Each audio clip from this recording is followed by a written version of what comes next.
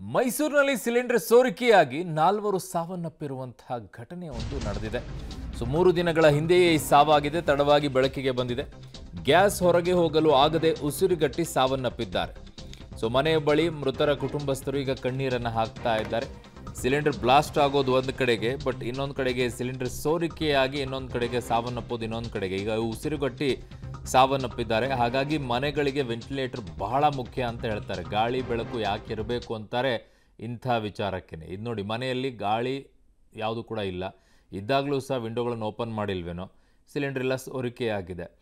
ಅದರ ಪರಿಣಾಮ ನಾಲ್ಕು ಜನ ಪಾಪ ಮೂರು ದಿನಗಳ ಹಿಂದೆಯೇ ಸಾವನ್ನಪ್ಪಿದ್ದಾರೆ ಅಂತೆ. ಗೊತ್ತೇ ಆಗಿಲ್ಲ. ಅಯ್ಯೋ ಪಾಪ.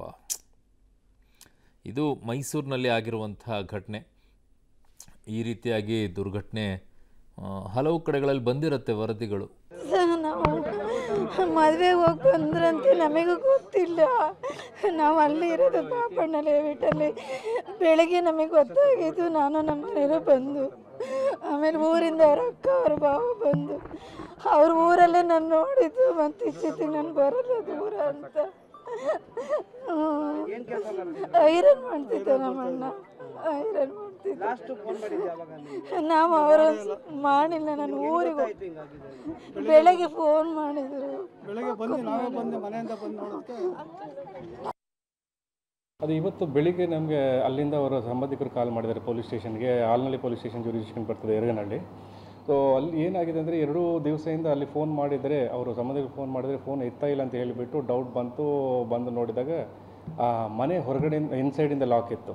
ಆ್ಯಂಡ್ ಸ್ವಲ್ಪ ನೋಡಿದರೆ ಅಲ್ಲಿ ಸ್ವಲ್ಪ ಗ್ಯಾಸ್ದು ಸ್ಮೆಲ್ ಬರ್ತಾಯಿತ್ತು ಅದು ಇಮಿಡಿಯೇಟ್ಲಿ ಪೊಲೀಸ್ ನಮ್ಮ ಪೊಲೀಸ್ ಸ್ಟೇಷನ್ ಕಾಲ್ ಮಾಡಿದಾಗ ನಮ್ಮ ಇನ್ಸ್ಪೆಕ್ಟರ್ ಸ್ಟಾಫ್ ಹೋಗಿ ನೋಡಿ, ಆ ಮನೆ ಮುಂದ್ಗಡೆ ಇರುವ ವಿಂಡೋ ಚಿಕ್ಕ ವಿಂಡೋ ಇತ್ತು. ಆ ವಿಂಡೋನ ಓಪನ್ ಮಾಡಿ ನೋಡಿದಾಗ ಆ ಮುಂದೆ ಸ್ಮಾಲ್ ರೂಮಲ್ಲಿ ಇಬ್ಬರು ಡೆತ್ ಆಗಿದಂಥ ಬಾಡೀಸ್ ನೋಡಿದರು. ನೋಡಿದ ನಂತರ ಇಮಿಡಿಯೇಟ್ಲಿ ಮತ್ತು ನಮ್ಮ ಎಫ್ ಎಸ್ ಎಲ್ ಟೀಮ್ಗೆ ಯಾಕಂದರೆ ಕಂಪ್ಲೀಟ್ ಇನ್ಸೈಡಿಂದ ಗ್ಯಾಸ್ ಸ್ಮೆಲ್ ಬರ್ತಾಯಿತ್ತು ಸೊ ಸ್ವಲ್ಪ ಆ ಬಾಡಿನೂ ಡಿಕಂಪೋಸ್ ಆಗುತ್ತೆ ಆ- ಆ ಥರ ಇತ್ತು ಅಂದರೆ ಎಫ್ ಎಸ್ ಎಲ್ ಟೀಮ್ಗೆ ನಾವು ನಾನು ಸ್ಪಾಟ್ಗೆ ಹೋಗಿದ್ದೆ immediately F S L team ಅವ್ರಿಗೂ ಮತ್ತು ನಮ್ಮ ಈ ಡೋರ್ ಓಪನ್ ಮಾಡಿದ್ರಲ್ಲಿ ಬಿಕಾಸ್ ಗ್ಯಾಸ್ ಸ್ಮೆಲ್ ಬರ್ತಾ ಇರೋದ್ರಿಂದ ನಮ್ಮ ಫೈರ್ ಡಿಪಾರ್ಟ್ಮೆಂಟ್ ಅವ್ರನ್ನು ಕರೆದಿದ್ದೀವಿ ಸೊ ಫೈರ್ ಅವರು ಮತ್ತು ನಮ್ಮ ಎಫ್ ಎಸ್ ಎಲ್ ಟೀಮ್ ಬಂದ ಮೇಲೆ ನಾವು ಆ ಡೋರ್ ಇನ್ಸೈಡಲ್ಲಿ ಹಾಕಿರೋದ್ರಿಂದ ಡೋರ್ ಓಪನ್ ಮಾಡಿದ್ವಿ ಫ್ರಂಟ್ ಡೋರ್ ಓಪನ್ ಮಾಡಿದ್ವಿ ಈ ಮನೆ ನೋಡಿದರೆ ತಾವು ನೋಡಿದರೆ ಈ ಮನೆ ಒಂದು twenty ten by twenty ten by twenty ಅಂತ ಅಷ್ಟು ಸೈಜ್ ಇತ್ತು.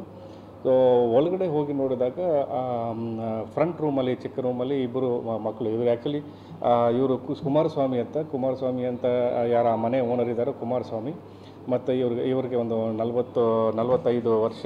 ನಮ್ಮ ಹೆಂಡತಿ ಬಂದು ಮಂಜುಳಾ ಅಂತ ಅವ್ರು ಮೂವತ್ತು, ಒಂಬತ್ತು ವರ್ಷ. ಸೊ ಇವರು ಅಲ್ಲಿ ವಾಸ ಮಾಡ್ತಾಯಿದ್ರು ಇವರು ಇಬ್ಬರು ಹೆಣ್ಮಕ್ಳು ಅವರಿಗೆ. ಆ ಇಬ್ಬರು ಹೆಣ್ಮಕ್ಳು ಒಬ್ಬರು ನೈನ್ಟೀನ್ ಇಯರ್ಸು ಒಬ್ಬರು ಸೆವೆಂಟೀನ್ ಇಯರ್ಸ್ ಇವರು ಮೊನ್ನೆ ಹದಿನಾರು ಹದಿನೈದು ತಾರೀಕು ಆ್ಯಕ್ಚುಲಿ ಮೂಲತಃ ಇಲ್ಲಿ ಮೂವತ್ತು ವರ್ಷದಿಂದ ಸೆಟ್ಲಾಗಿ ಇದೇ ಮನೇಲಿ ಸ್ವಂತ ಮನೆ ಇದು, ಸ್ವಂತ ಮನೇಲಿ ಇರ್ತಾ ಇದ್ದಾರೆ. ಮೂಲತಃ ಬಂದು ಕಡೂರು ತಾಲೂಕು ಸಕ್ಕರೆ ಪಟ್ಟಣ ನನ್ನ ಸಹೋದ್ಯೋಗಿ ಈಗ ಕೆ ಪಿ ನಾಗರಾಜ್ ನನ್ನ ಸಂಪರ್ಕಕ್ಕೆ ಸಿಗ್ತಾ ಇದ್ದಾರೆ. ಕೆ ಪಿ ನಾಗರಾಜ್, ಮನೆಯಲ್ಲಿ ಈ ರೀತಿಯಾಗಿ ಗಾಳಿ, ಬೆಳಕು ಆಡಬೇಕು ಅಂತ ಹೇಳ್ತಾರೆ. ಬಟ್ ಇಲ್ಲಿ ಈ ಮನೆಯಲ್ಲಿ ಆ ಥರ ಏನೂ ಇರಲಿಲ್ವಾ? ವಿಂಡೋಗಳು ಇರಲಿಲ್ವಾ? ಗಾಳಿನೂ ಆಡಲಿಲ್ವಾ? ಆ ಥರ ಹೇಗೆ ಸಾಧ್ಯ ಆಗುತ್ತೆ? ಅದ್ರ ಬಗ್ಗೆ ಏನೂ ಅರಿವೇ ಬರಲಿಲ್ವಾ ಏನು ಅಂತ? ಅರುಣ್ ಅಲ್ಲಿ ಗಾಳಿ ಆಡೋದಕ್ಕೆ ಪ್ರದೇಶವಿಲ್ಲ. ಯಾಕಂದರೆ ಅಕ್ಕಪಕ್ಕ ಪಕ್ಕ ಕಟ್ಕೊಂಡಿರುವಂಥ ಚಿಕ್ಕ ಚಿಕ್ಕ ಮನೆಗಳವು ಟೆನ್ ಬೈ ಟ್ವೆಂಟಿಯಲ್ಲಿ ಇದ್ದಂಥ ಮನೆ ಇದು. ಒಂದು ಚಿಕ್ಕದೊಂದು ಹಾಲು, ಚಿಕ್ಕದೊಂದು ರೂಮು ಅಲ್ಲೇ ಚಿಕ್ಕದೊಂದು ಅಡುಗೆ ಮನೆ. ಈ ರೀತಿಯಂಥ ವ್ಯವಸ್ಥೆ ಇರುವಂತಹ ಮನೆ. ಆ ಮನೆಯಲ್ಲಿ ಇವರು ಒಟ್ಟು ಮೂರು ಗ್ಯಾಸ್ ಸಿಲಿಂಡರ್ನ ಇಟ್ಕೊಂಡಿದ್ದಾರೆ. ಯಾಕೆಂದರೆ ಇವರು ಇಸ್ತ್ರಿ ಮಾಡುವಂಥ ಕಾಯಕವನ್ನು ಮಾಡ್ತಾ ಇದ್ದಂಥವರು. ಮೂಲತಃ ಕಡೂರಿನ, ಕಡ ಕಡೂರಿನವರು. ಹಾಗಾಗಿ ಸೋಮವಾರ ಅವರು ಬೆಳಗ್ಗೆ ತಮ್ಮ ಕಡೂರಿನ ತಮ್ಮ ಸ್ವಂತ ಊರಲ್ಲಿ ತಮ್ಮ ಸಂಬಂಧಿಕರ ಮದುವೆಗೆ ಕುಟುಂಬ ಸಮೇತರಾಗಿ ಹೋಗಿದ್ದಾರೆ.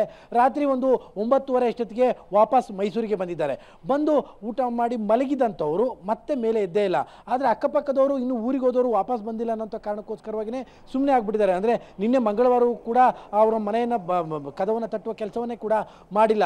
ಆದರೆ ಅವರ ಸಂಬಂಧಿಕರು ಇವರಿಗೆ ಫೋನ್ ಮಾಡ್ತಾ ಇದ್ರು ಕೂಡ ಫೋನ್ ಯಾವಾಗ ಪಿಕ್ ಮಾಡಲಿಲ್ವೋ ಆಗ ಅನುಮಾನ ಬಂದು ಇವತ್ತು ಬೆಳಿಗ್ಗೆ ಆ ವಿಚಾರವನ್ನ ಪಕ್ಕದ ಮನೆಯವ್ರಿಗೆ ಹೇಳಿದಂಥ ಸಂದರ್ಭದಲ್ಲೇ ಈ ಸಾವಾಗಿರುವಂಥದ್ದು ಗೊತ್ತಾಗಿರುವಂಥದ್ದು Arun.